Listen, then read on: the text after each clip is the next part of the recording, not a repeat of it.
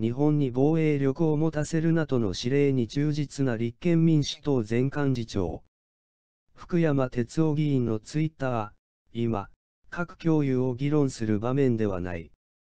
日本が核共有の議論をすることで NPT 体制に傷をつけ、米国を信頼していないと誤解を与え、中国、韓国、北朝鮮も黙っていない。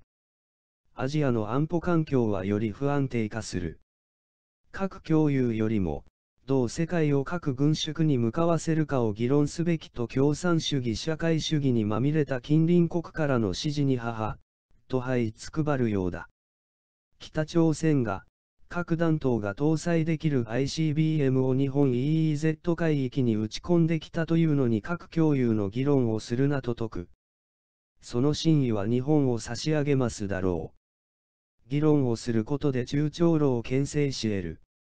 俺たちもやるときはやるぞ、の姿勢を明らかにしてこそ信仰をためらわせられる。その程度のことも分かりたくないのが左派政治やだ。平和主義のお面をかぶって。言えると思いますけど、核共有の議論は本当に悪い。NPT 体制を日本が壊すことになる。日本が核共有するとなれば、韓国も自分もすると言い出す。中国や北朝鮮が黙ってない。日本の安全保障環境はより不安定化する。ましてアメリカは、日本はアメリカのことを信用していないのかと言い出します。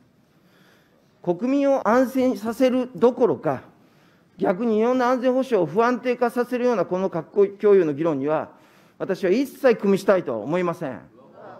そして、日本の非核三原則を今の現代では守るべきだと思います。貴殿も国会議員なのだから国防について真剣に考えられよ。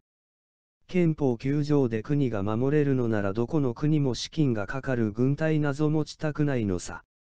立憲民主党や共産党が守り札のように崇め立てまつる日本国憲法は確かに、自国から他国を一切責めない、その手立てを放棄すると世界に約束している。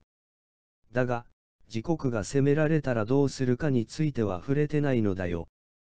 そんな危なっかしい憲法で祖国と国民を守れるか。1ヶ月前にロシアは問答無用で核も使うと脅して侵攻してきたぞ。それが現実だ。福山氏ほか左派議員たち、大概に満開のお花見気分から目を覚ませ。お聞きいただき感謝申し上げます。